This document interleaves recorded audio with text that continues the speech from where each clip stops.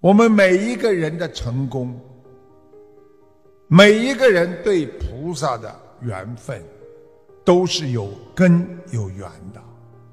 所以每一个人学佛不是今生的，都是自己多少世多少生的。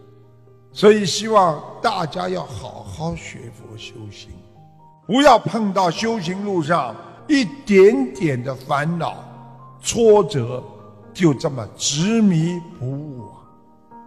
所以师父跟大家讲，在人间路不通的时候，要学会拐弯，选择拐弯。有的时候修行修到不快的时候，要学会要看淡的，啊，不要这么重，过了就可以了，改了就好了。有的时候在人间，你的感情渐渐的、慢慢的淡的时候、远的时候、离你去的时候，你要学会选择随缘。有一些事情。在人间多承担一点，挺一挺，可能就过去了。啊，有些害你的人，你咬咬牙，可能慢慢的就忘记了；有一些苦笑一笑，他就笑过了，笑了就过了，苦了就过了。啊，所以修行人的一颗心，有时候伤一伤。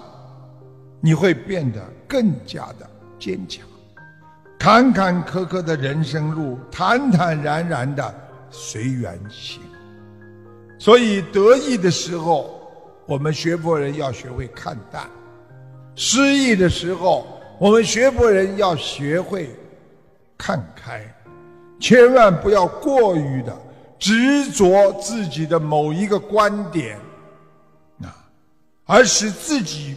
在人间背上沉重的包袱和业障，所以我们经常说呢，个人业障自己背，所以不要去背上业障，学会勤修苦练，学佛缘呢，啊，学习佛的缘分要勤修苦练，啊，修成无上正等心。